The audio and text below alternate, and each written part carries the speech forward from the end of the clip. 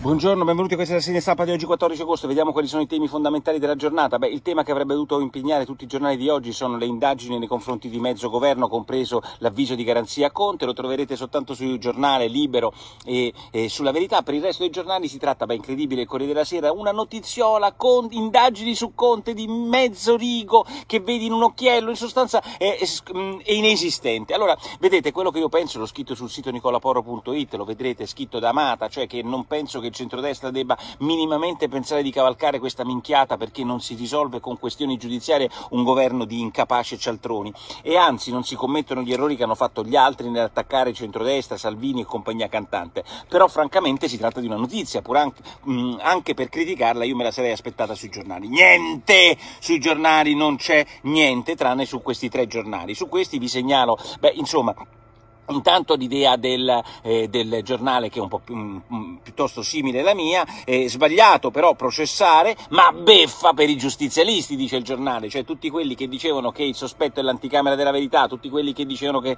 ci si rimette con le, con, con, con le indagini, eccetera, con gli avvisi di garanzia, beh, sono tutti scomparsi, perché quando riguarda loro ovviamente sono scomparsi. Belpietro ovviamente ha una posizione simile e a questo aggiunge, non succederà nulla perché questo, archi- i PM hanno già detto si archivia tutto, fantastico quando si parla di Conte e compagnia cantante sono tutti contenti, ma eh, il punto fondamentale dice quando la politica ha deciso di utilizzare i magistrati per fare un atto politico come quello di Salvini, mandarlo a processo a Catania, beh insomma adesso si aspetta, dovrebbe aspettarsi la stessa cosa sulla gestione della pandemia. E, e questo non ha nessun torto Belpietro nel dire perché anche quello di, della politica dell'immigrazione di, di, di, Salvini era un atto politico, un po' come quello che è stato fatto nella, nella pandemia, però su quello si va a processo e quello fa l'eroe giustamente in... Ehm, Sicilia. E invece questi dicono ho agito in scienza e coscienza che sembra veramente il marchese del grillo tutti zitti e muti a fare pipa i giornali internazionali non se ne occuperanno perché il cortocircuito è sempre quello.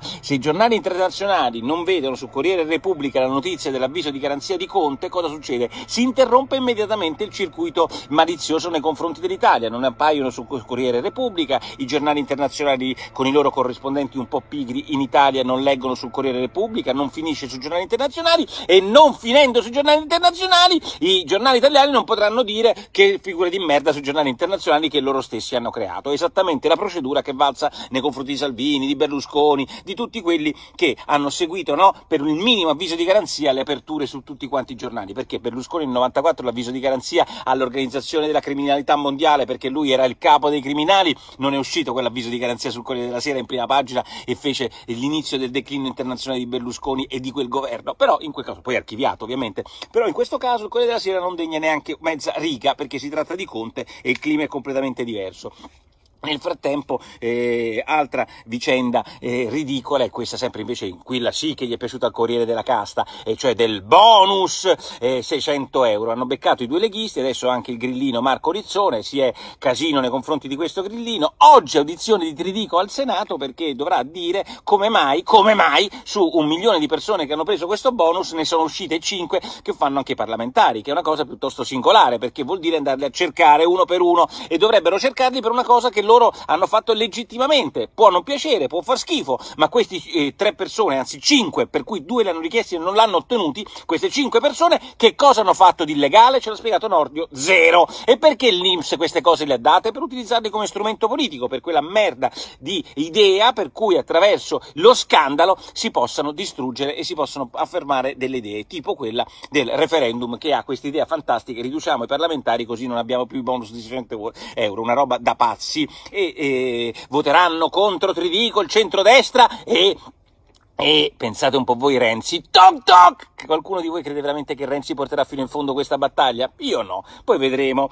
Nel frattempo i titoli invece dei giornali principali sono su un'altra cosa pazzesca italiana. Ieri eravamo arrivati due giorni fa il problema dei giovani, poi i giovani vanno all'estero, poi i giovani vengono in Italia dall'estero, poi si chiude nei confronti dei paesi esteri. Sia chiaro, non lo fa solo l'Italia, perché anche la Gran Bretagna ha chiuso nei confronti di Malta, Croazia, eccetera. È una febbre collettiva, ma noi siamo un po' più pippe degli altri perché abbiamo Speranza Arcuri, Tridico e Mimmo Parisi, questi qua che voi raccontano e fanno i decreti e poi però i decreti qualcuno li deve rispettare, quel povelazzo della polizia o degli aeroporti di Roma che dovranno fare i test, se i test non ce l'hanno, come fanno a fare i test a quelli che tornano dalla Grecia e dalla Croazia? Non li fanno. Difatti il titolo oggi del Corriere della Sera, il giornale più allarmista del mondo, è Mancano i kit. Cioè, questi ci hanno fatto la legge, ma non ci sono i kit. E allora leggo su tutti quanti i giornali, sapete cosa succede? Quello che esattamente si prevedeva, cioè in un paese in cui gli arresti diventano non domiciliari non fatti per legge, ma fatti per decreto DPCM. Quindi io vado in Grecia, magari non vado manco un giorno in discoteca, mi trovo in un'isoletta greca a farmi i cazzi miei in un'isoletta, in una casetta fuori da tutte le rotture di balle. Non becco neanche quelli che beccherei a Gaeta o a Formia, come scrive bene Ivan Mazzoletti sul mio sito. Leggetevelo la sua cronaca di Formentera rispetto alla sua cronaca di Gaeta. Bene, mi trovo nell'isoletta greca, ritorno in Italia perché me ne vado in isoletta greca, posso ancora andare in un'isoletta greca? Cioè, amiamo l'Europa, poi ci incazziamo se uno fa un viaggio in Grecia? Beh, vabbè, andiamo in Grecia, ritorniamo dalla Grecia, arrivi in Italia, non c'hanno il kit e chi ti dicono? Eh, non c'ho il kit, allora stai a casa finché non ti faccio il tampone. Vi è chiaro? Stai a casa finché non ti faccio il tampone. E mi sembra che il track record dei tamponi in Italia non è stato proprio di quelli eccellenti, ne facciamo 50-60 mila al giorno, comunque dove ci sono i focolai. E, e, quindi questo cosa vuol dire? Che stai agli arresti domiciliari. L'ha deciso un giudice? L'ha deciso un magistrato? L'ha deciso una, una sentenza? L'ha deciso una malattia? No, l'ha deciso nostro, la nostra cialtroneria per cui tu ti troverai agli arresti domiciliari per due giorni, tre giorni, un mese, venti giorni, cinque giorni, tre ore, perché c'è un'inefficienza. Però loro titolano sui giornali, così si sconfigge il virus.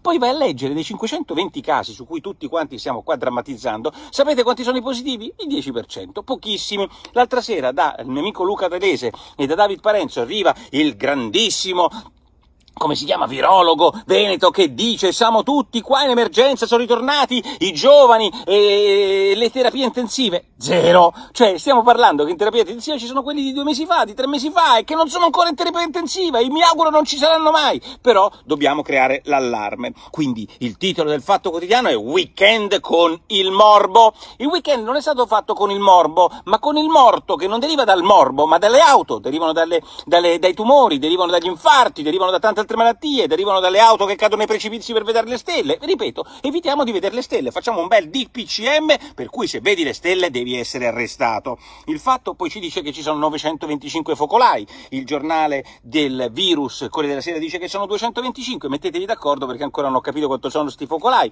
ma poi se ci sono 925 focolai e 500 o 1500 in una settimana, vuol dire che per ogni focolaio c'è un malato, che non è neanche un malato, perché è un positivo, quindi noi stiamo drammatizzando i focolai che fanno due positivi e i due positivi peraltro c'è una grande possibilità che non si ammalino per niente.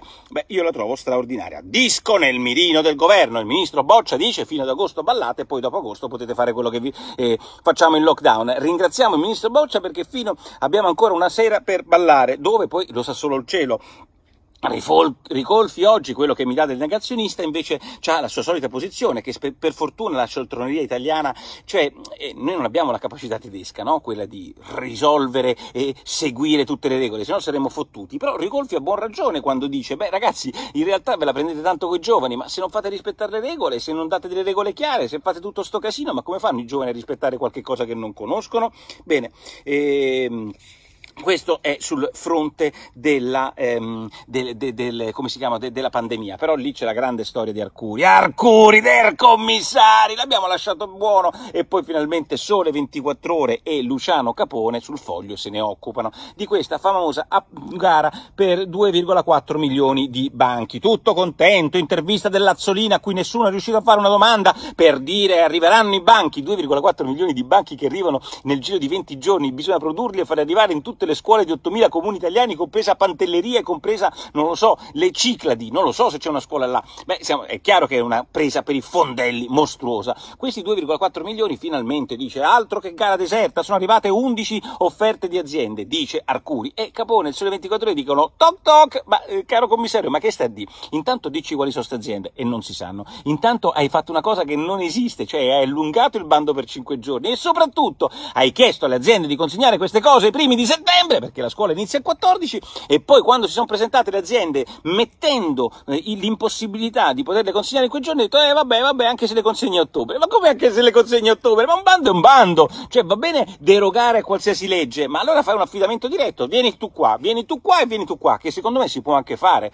Cioè, non mi scandalizzo per l'affidamento diretto, ma se fai un bando e scrivi che devono essere consegnati l'8 settembre, partecipano delle persone che ti dicono guarda fino all'8 settembre non riusciamo a farle e te l'avevano detto tutti, te le porto a ottobre o novembre e tu poi dopo, dopo che hai finito il bando e hai accettato questi 11 dici beh vabbè portalo ottobre o novembre, ma ragazzi ma questo come, ma come la chiamate sta roba qua? Der commissari! Ma manco Falco la pensava una cosa di questo tipo. Nel frattempo oggi il PD diventa l'alleato del Movimento 5 Stelle. Mi spiego meglio sulla, sulla eh, piattaforma Rousseau, Rousseau, lo scrivono tutti quanti i giornali, cosa succederà? Che oggi dovranno votare gli 80.000 delle vecchie storie, dovranno votare per dire se sono d'accordo che possono avere i grillini il terzo mandato e che ci si possa fare un'alleanza col PD, perché ci si è dimenticati che il Movimento 5 Stelle non voleva fare le alleanze, tant'è che Repubblica oggi dice nelle Marche potranno andare PD e Movimento 5 Stelle con lo stesso governatore. Insomma, la paura che possa vincere la destra unisce PD e Movimento 5 Stelle, ma c'è un piccolo particolare, e il particolare è che eh, non eh, Babbo Natale, ma nel blog delle stelle, lo ricordo oggi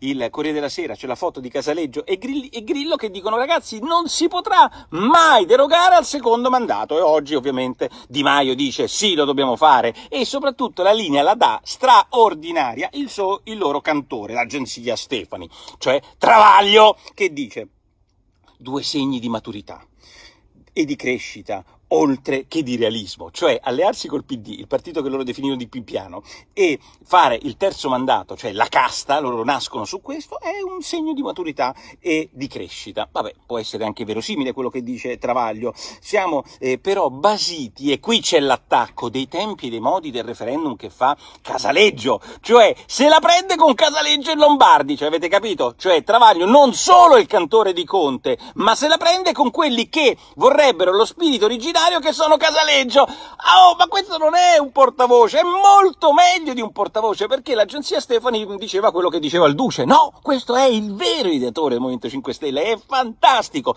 Cioè, parliamoci chiaro, il partito di Travaglio è come quello di Scalfari, gli piace, lo capisco, stanno lì, vanno alla barchetta e pensano cosa deve fare. E poi la cosa stupenda è che il sospetto non è nei confronti più degli, degli avvisi di garanzia, ma il sospetto è che Casaleggio faccia votare solo i trinari cresciuti contrari al terzo mandato. Allora a me va bene tutto, ma va bene, ma che adesso i grillini che l'hanno votati sulla parola onestà, onestà, non siamo la casta, non ci alleiamo col PD e che continuino a pensarlo anche oggi, vengano definiti da travaglio dei trenariciuti, a me va benissimo, siamo tutti d'accordo. Fra un po' troverò la possibilità di una giornata in cui vedrò che Russo vorrà il Movimento 5 Stelle allearsi con Berlusconi. Ma vale tutto, vale tutto a questo punto. Nel frattempo e, e, mh, mm, ci sono altre due notiziette, diciamo, eh, un'altra notizia importantissima, cioè l'accordo Israele-Emirati Arabi, Beh, è importantissima perché, dice Parsi, dopo l'Egitto e la Giordania le relazioni eh, in Medio Oriente eh, stanno, eh, sono state ristabilite e quindi quello che abbiamo visto è un accordo storico che Fiamma Nilestan sul giornale dice toc toc, dice così Fiammanile, sta proprio toc toc. Guardate che forse qua eh, Trump, quella pippa che voi considerate una pippa, in realtà qualche cosa è riuscito a fare perché la firma è merito suo. Poi i palestinesi sono i veri perdenti, invece giornali tipo eh, Il Manifesto mettono bene in evidenza Ultima questione per gli appassionati della vela, beh, è la storia straordinaria di My Song, la nave, di, la barca di 40 metri a vela di eh, Loro Piana, che è andata a fondo in un trasbordo tra i Caraibi e Genova. Una cosa straordinaria, parla Loro Piana e dice ragazzi sul Corriere della Sera un'intervista direi piuttosto interessante da leggere, ragazzi mi avete affondato la barca, mo me la pagate 30 milioni a questi inglesi per cui inizierà la causa tra poco a Milano. Notizia estiva, insomma alla fine non viviamo soltanto di Conte e soprattutto ragazzi ragazzi di agenzia Stefani, fatevi un sorriso perché qua, mh, mm, se no, con le mascherine dobbiamo soltanto piangere. Ciao!